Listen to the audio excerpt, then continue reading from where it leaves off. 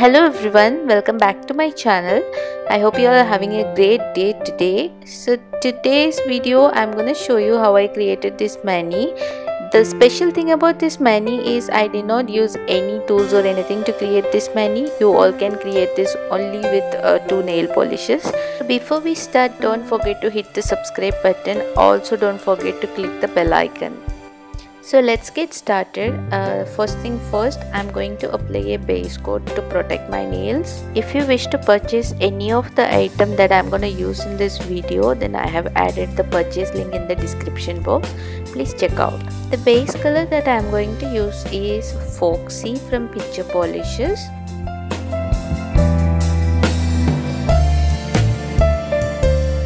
This is uh, dance legend Spot It white top coat this is a special kind of top coat. When you apply this top coat on top of a you know freshly applied base color this polish spreads uh, like oil and then it creates a kind of bubble effect.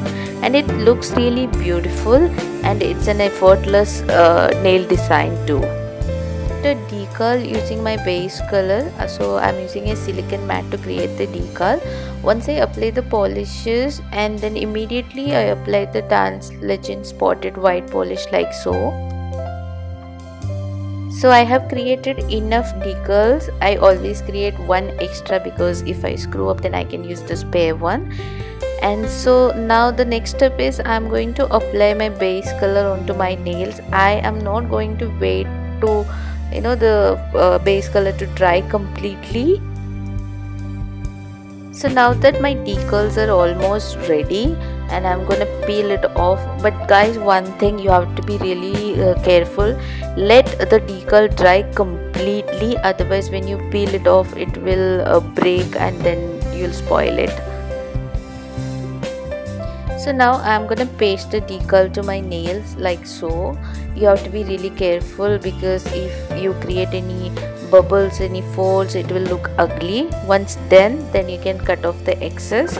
And also use a brush and acetone to clean up the edges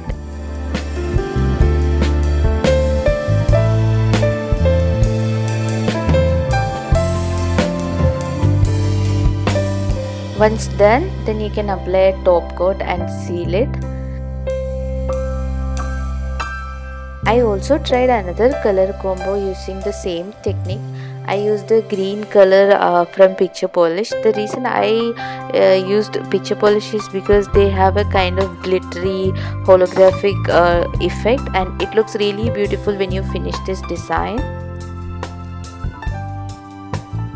in the next slide you can see the other color combo. And uh, let me know which one is your favorite. My personal favorite was the green one. And yes please i'll wait for your comments. So that's it for today. And i hope you guys enjoy the video. And i will be back with another video on this wednesday. Please stay tuned and uh, like share comment all those things. Thank you